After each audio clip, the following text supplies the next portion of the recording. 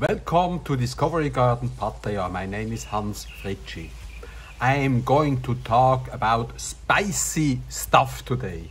You know, one of the most famous and most produced spices in the world is black pepper. It has been a spice of mankind forever, forever. And equally uh, well known is the white pepper. You see, this is typical white pepper. It comes after the black pepper in production worldwide since ancient times. The stuff to make things spicy. Less known, a little bit less known is the green pepper that we have and then you might even know the red pepper. And here I have something very exotic. I'm sure you have never seen this. This is long pepper. You see, this is the fresh fruit from the climbing vine in the garden. And these are the dried long peppers that you can grind as well and it, the taste is very much like black pepper. So this is fresh long pepper, this is dried long pepper, a lot to spice with. So here we approach one of our green pepper wines that we grow at Discovery Garden Pattaya. And you might be surprised to hear that this is called Piper nigrum, black pepper, but it's green pepper. Hmm. Uh, we are now in front of one of our pepper plants. You see, this is the wine with uh, all these green peppercorns and they are uh, almost uh, ripe now these ones here. Very green. But where are those? Where do these grow? Hmm. A conundrum. Okay i tell you a secret. These three pepper varieties grow on one plant only. You only need one plant and you get white pepper, black pepper and green pepper. But actually you also get the red pepper from this one. All four come from the same vine that is growing up here. You see, this is for instance black pepper. It is naturally, it did naturally dry, but if you mass produce this one, the black pepper, you have to take the green pepper and boil it in hot water. Yes, that's the secret.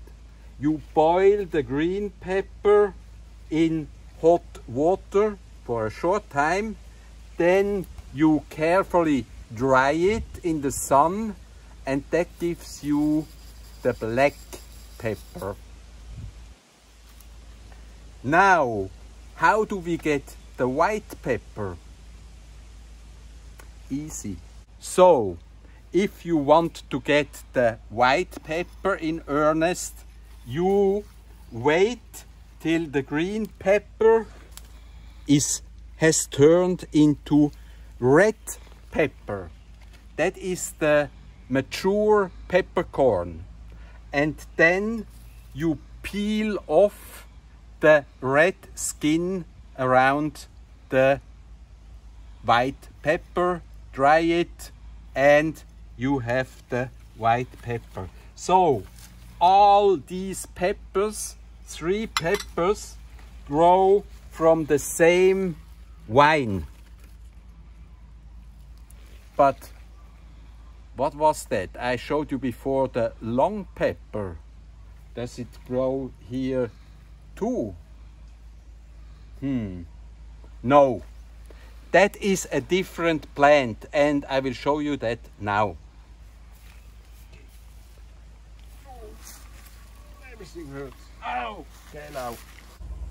Here you see the long pepper, the mature long pepper, which is red. It grows like uh, cones on a pine tree and they look a bit like strawberry too. Here you see we have uh, grown these uh, long peppers along this uh, concrete uh, pole we put there and they are climbers. They grow easily up and you don't have to help them in any way. Okay, I talked to you about these things here. The, uh, I guess you have never seen this. This is long pepper and that is the plant where it grows.